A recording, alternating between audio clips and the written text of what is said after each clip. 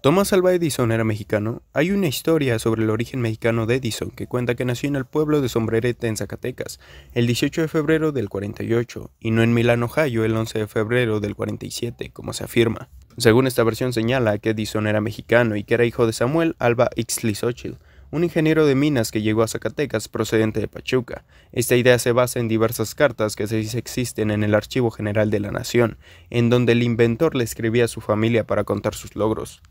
Se han buscado documentos que afirmen esto, pero en ese pueblo no existen actas de registro civil que lo avalen, ya que no era común registrar a los niños, y lo único pueden ser archivos parroquiales, pero estos desaparecieron, ya que en 1911, cuando los revolucionarios entraron a Sombrerete, quemaron todos los archivos de la presidencia municipal. Sin embargo, la leyenda se sustenta gracias al libro escrito en 1909 por Fray Ángel. Se dice que el inventor había nacido en Zacatecas, pero fue llevado de joven a los Estados Unidos, su patria adoptiva. Pero aún no se sabe con certeza el origen de Edison. Y dime tú, ¿qué opinas?